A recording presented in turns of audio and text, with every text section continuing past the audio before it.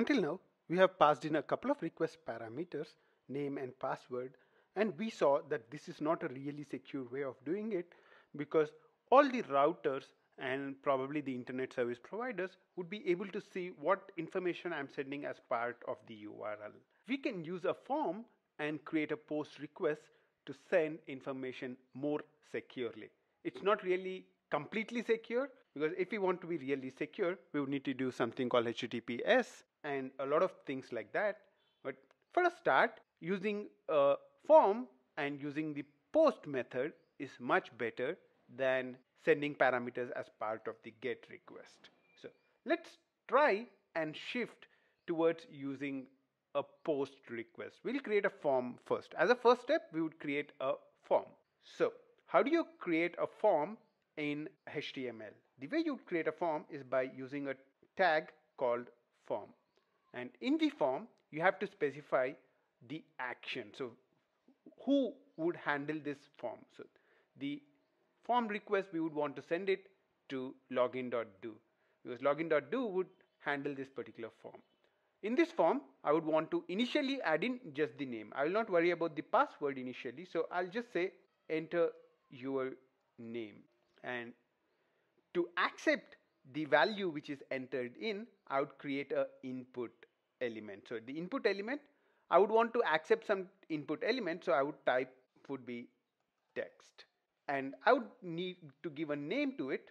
The name that we would give is name. So I'm creating an input element with type text and name is name. So now enter your name and there's a text box. That's what we have created until now. So input type is equal to text and name is equal to name. And next we would need a submit button. So input type is equal to submit. So what we have done is we created a small form.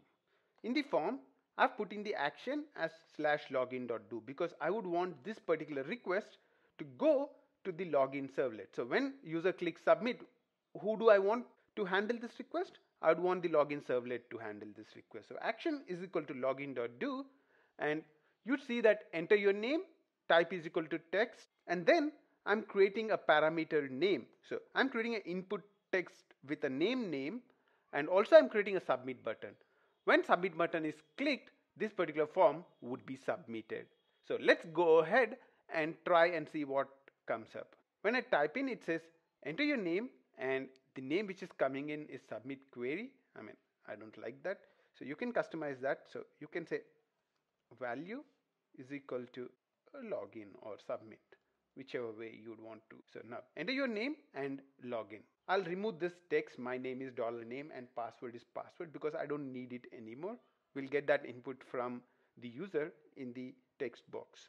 Let's refresh the screen. So now you have enter your name and you have login. Now I would go and enter my name in here. Let's say I enter Ranga K and do login. What is happening in here is once I enter a name and press login, you'd see that actually the request parameter is sent as part of the URLs. Even now, even though we created a form, it's still creating a get request. So let's check that up again. So in the network tab, let's go ahead and let's type in a name, Ranga K, and press login. And you'd see that the request which is sent in still is a get request. So even after we created the form, the request which we are sending in even now is a get request and not really a post request. How do I really make this request a post request? The second thing you would observe is also that the parameter name. So whatever I'm entering as value in here is passed as the parameter. So it's passed in as with the name which we gave it and also the value which we are giving in as a parameter. So this is good. I mean the value is getting passed. That's very good. But the thing which we don't like is the fact that this is getting passed as part of the URL as a get parameter. We would want to make it a post parameter. How do we do that? The way we do that is by using a method on the form. The method we want to use is post. Now I would go and now I would actually go to login.do and do a refresh. The page is loaded up. Now if I look at the response which came in it has a method of post. So if you look at the form, it has a method of post. So it's the latest code which is coming through. So now I'm typing in my name, Ranga K, and pressing login. You can see now that we are sending a post request. I mean, if you look at the method in here, post request, I mean, we are getting an error. We are getting a server error, method not allowed. That's basically response status 405, which says the post method is not allowed on this particular servlet. So what this error is telling us is that on this particular servlet login.do, the post method is not really allowed. Why is it so? Let's look at the code. In the login.do servlet, which is login servlet, we only have a do get method. We don't really have a post method. So we need to handle the do post as well. How do we do that? We will take care of creating a do post and doing more with it in the next step.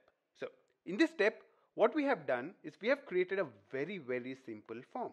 So we created a form, we have an action login do and inside the form we have a text field with the name name and we have a submit button with the name login.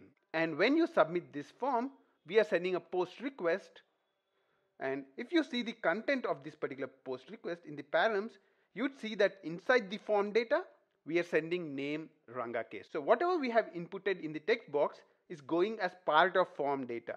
Earlier, when we sent the name, we were sending it as part of the request URL. Now, we are sending it as part of the form data. So we are sending the name as form data using a post method to login.do. But the thing is, right now, the login.do is not good enough to handle that request. In the next step, we will enhance the login.do servlet to handle this do post request as well.